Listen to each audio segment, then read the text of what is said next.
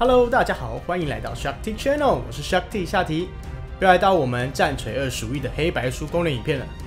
今天攻略的是最后一关史凯特大门，难度四颗星。第一本是我们的黑书，它就在起点正前方的建筑物那，绕着建筑物后方就可以找到我们的黑书了。第二本是我们的白书，坐电梯下来后。往右边看，会看见一个破损的房子。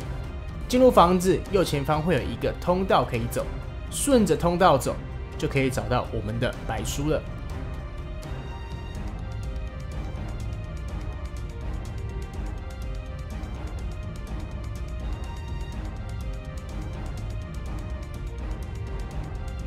第三本是我们的白书。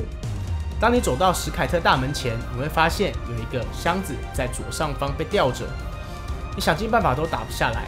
这时候你只需要瞄准它的绳子，再顺着它掉下来的方向找，就可以找到我们的白书了。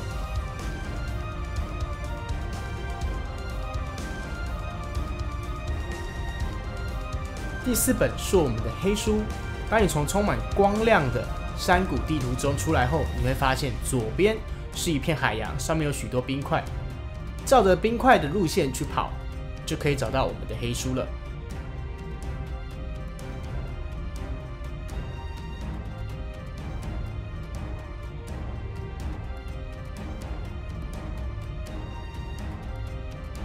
第五本是我们的黑书。当你击杀了守门人后，依照主线的路线走到底，你就会发现四个箱子和一面破掉的墙。进去墙后，马上右转，走到底就可以找到我们的黑书了。